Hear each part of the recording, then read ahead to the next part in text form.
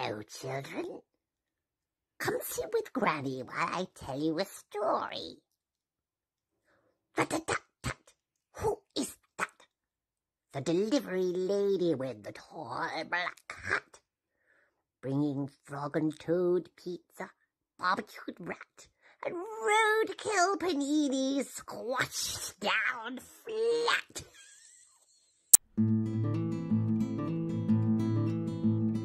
sky is dark, the night is young, the firmament with stars is strung. The time is right, the time has come, the witches are arriving. Slowly up the mountainside, above the tops of trees they glide, as to their rendezvous they ride. The witches are arriving. There was a scrabbling and a sizzling in the corner of the kitchen, and from underneath the cooker, like two red evening shadows, slid two demons, pulling and straining themselves and popping out like corks.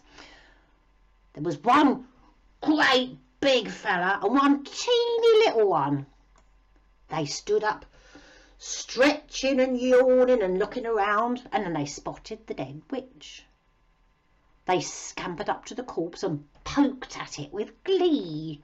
Then the big demon seized the dead witch by the feet, gave a yank, and, and, and like a rabbit stripped off all of her skin at one pull. Then he said to the little demon, Here, you take the flesh for yourself. Lug it under the cooker. Well, the little girl, she sat there as still as still can be, watching while the little demon flung his arms around the skinless corpse of her grandmother and dragged it under the big iron stove. Need a coach to get you to the castle. A pumpkin is the usual conveyance, I believe. Well, I have got a pumpkin, but I've already used the insides in the stew and I've, I've carved it into a lantern for Halloween, said Fataliliac. It's got eyes and a big grinning mouth and everything. Why, that would be perfect. Now for the horses. We need two black rats and two bats for the coachman. Fataliliac fetched them and placed the animals on the ground in front of the pumpkin. I waved my wand over the lot. Antrenor Devoriac!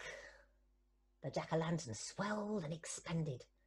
The Halloween eyes became windows, and big brass wheels appeared from underneath, raising up the coach, which burst into light as a swarm of fireflies flew in and arranged themselves on the ceilings and walls. Transformare equina! The two rats stretched and bucked, black plumes sprouting from their heads and their sleek black backs rising up, the girths and traces wrapping around them, the bits slipping into their mouths and the reins reaching backwards like tendrils towards the coachman's box. Lilieci de cocher! The two bats stood upright, grew taller and folded their wings into leather capes as they took up the reins in their leather-gloved hands and settled themselves onto the box, their black hair slicked back from their black foreheads, their black eyes shining. Well, I think you're all set to go, I said to an astonished Fataliliac, as two more little bats settled into her hair, adding the final touch. Enjoy yourself, but be back by midnight, I warned. These things can't keep up their metamorphosis for long. Go on now, knock 'em dead. Suddenly, there was a ripping sound as if someone heavy had sat down in an old deck chair and the canvas was giving way. The squire's wife staggered to her feet and stood there, swaying. She lifted her skirts and looked down between her thighs. The squire stared in horror as she was rent from navel to tail, and the head of a huge hare appeared. It turned to look at him, its eyes red with fire and its teeth sharp as needles. Then the shoulders was out, and with a whoomp, the massive thing landed on the ground, its coat sleek and glistening with blood. The squire stared mutely at the ghastly scene, but now he was coughing and, and choking, and there was another sound of tearing and cracking as his jaws was forced impossibly wide.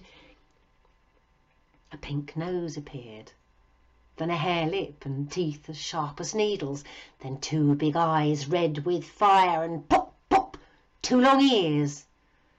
Then came the front paws.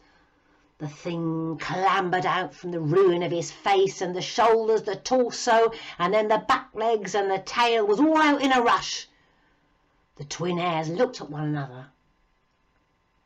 Then they ate up what was left of the squire and his wife leapt through the window out into the moonlight and off across the fields. Well, I could see the light of the torch again, and then there was a scraping sound and a bump, and I knew they'd got my apple picking ladder and put it up against the wall. Well, I could smell the sweat and the beer and fags on them from by the kitchen door. Well, there's a scrambling, a fumbling, and a big fat head appears in the window. I could see him scrutinising the window frame, doing a recce, seeing if it would fit. I made sure he'd fit through it. Now he put his arms through first, then his head and his shoulders come through, squeezing but just making it in. I don't think he'd really thought about what would happen on this side. So he, wriggles and squirms just like you see a greasy pig do at the fair. Then all of a sudden he was through. The bottom of him just seemed to whiz through like when he squeezes the soap. And there he was, hanging upside down by shoelaces from the window catch. I adjusted the position of the salt barrel with my foot. I was heavy man, so the shoelaces didn't last long. I leaned against the door frame and rolled a fag in the meantime.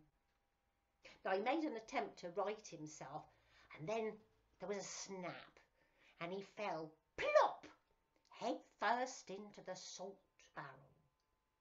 Was over there in a second. I pushed his legs in, fastened the lid tight and sat on it.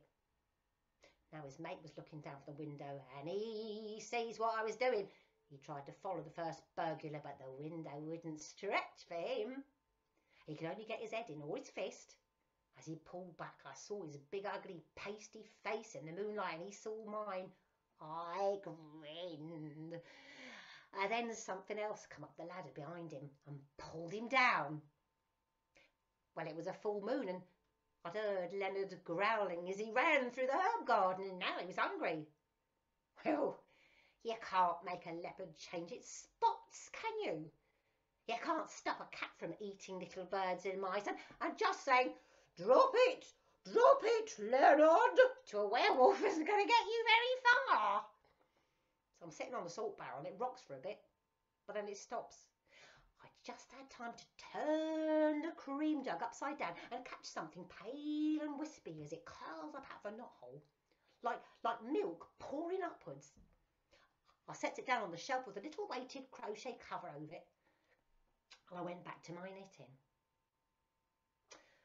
So now I'm looking forward to a nice bit of ham at Christmas. Well, I better go and check on those soul cakes. They should be done by now. I'll put them in the larder for Monday in case anyone comes souling. Now remember, flour, fat, sugar, currants, egg yolks, and if you want real soul cakes, the special ingredient from the cream jug. As soon as Margarita saw the mice and the bats, the worms and the weevils, the beetles and the bugs rushing into the room, she began to stamp all around her, crushing the smallest who were unable to get away in time. Baba Yaga's son was the last to arrive, and his smile fell when he heard his mother screaming and heard his brothers and sisters being ground into the floor. Well, it was all over in a second. He lifted one of his great anvil-like feet and dropped it down again. All that was left of Margarita was a pulpy stain in the middle of the floor. Hee ha, hee ha, the witches are arriving.